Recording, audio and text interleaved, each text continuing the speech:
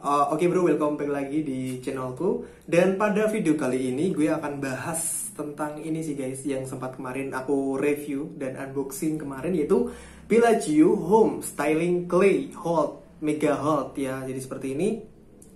Uh, Aku akan sedikit cerita gimana sih pengalamanku menggunakan Bellagio Home Styling Clay ini Itu selama beberapa jam. Uh, Selama beberapa jam ya ya ini kan sekarang itu cuacanya bener-bener panas gitu kan.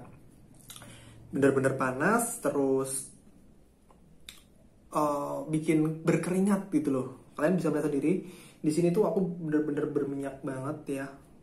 Bajuku juga sampai basah ya.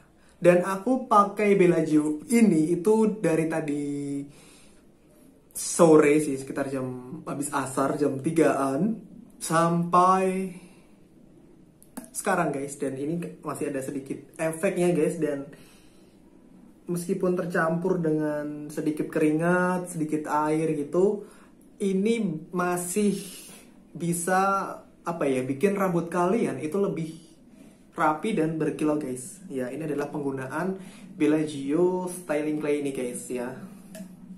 Dan aku juga sudah menggunakannya cukup banyak, colekannya udah segini guys.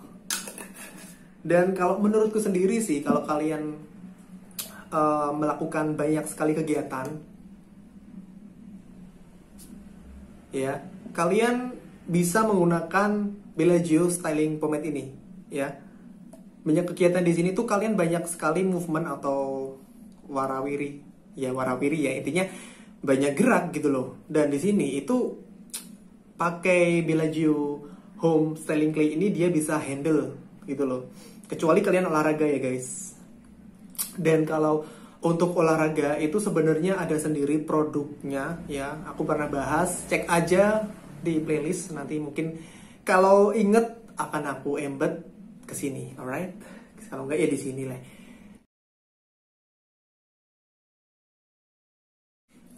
Tercampur beberapa minyak oil. Seperti di sini ada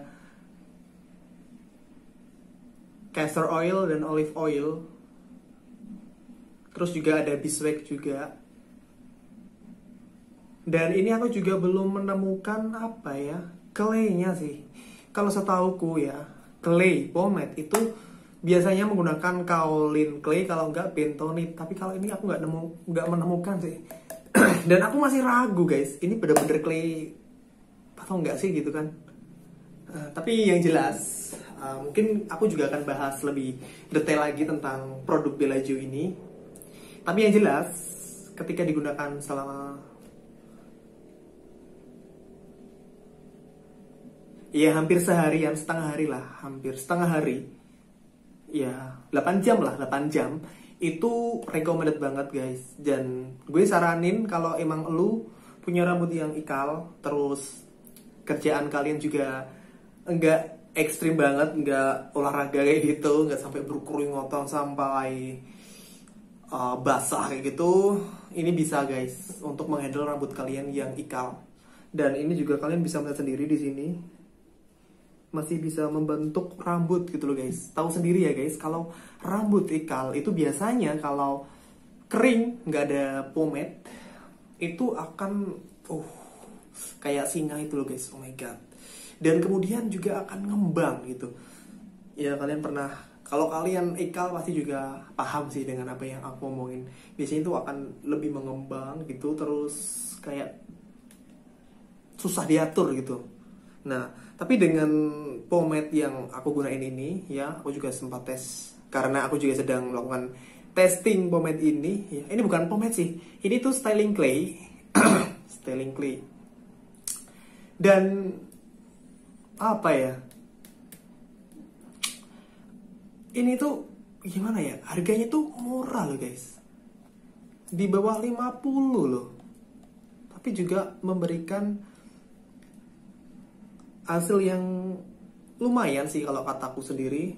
Nggak buruk-buruk amat nggak baik-baik amat sih. Uh, middle middle tengah-tengah. Dan ini juga mungkin teksturnya itu hampir mirip dengan apa ya Gatsby pomade. Nah, hampir mirip. Tapi kalau Gatsby pomade itu dia daya holdnya itu dia lebih rendah. Ini lebih tinggi, ya. Kalau aku ngerasain sendiri kayak gitu, karena aku udah pernah coba pakai yang styling pomade yang Gatsby itu nggak terlalu kaku. Kalau ini tuh bisa sedikit lebih kaku sih guys, meskipun nggak kaku-kaku amat, tapi ya bisa untuk merapikan rambut kalian dan tahan lama, alright?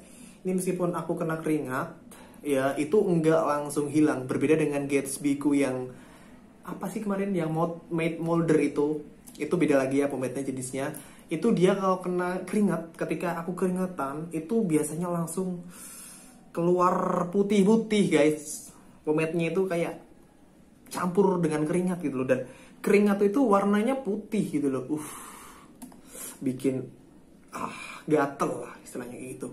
Oke okay, guys. Mungkin itu tadi ceritaku pengalamanku menggunakan styling pomade ini di selama beberapa jam. Kurang lebih 8 jam ya. Selama 8 jam. Dan kalian bisa menilai sendiri apakah Pilaggio ini worth it atau enggak di rambut kalian kalian bisa menyimpulkan sendiri guys. Kalau aku sendiri itu cocok ya. Dan gue rekomendasiin pomade uh, styling clay atau penata rambut ke kalian. Ini guys. Kalau kalian mau coba-coba menggunakan produk penata rambut yang cukup murah dan harga terjangkau Jawabannya adalah ini guys, alright? Cobalah beli ini dulu. Alright, mungkin di episode berikutnya gue juga akan bahas tentang ini versus Suavecito. Kebetulan Suavecito ku masih ada ya. Dan tunggu saja videonya, alright?